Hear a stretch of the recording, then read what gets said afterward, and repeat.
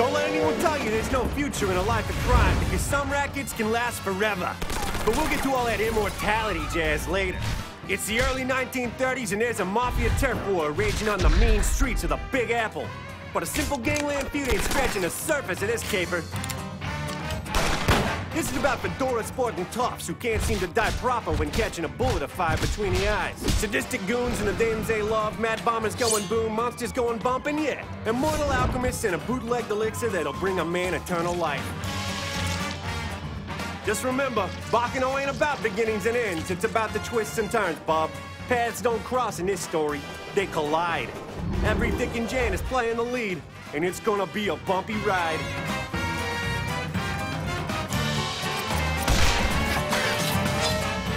Life of crime can last forever. Baccano Volume 2, coming soon to DVD.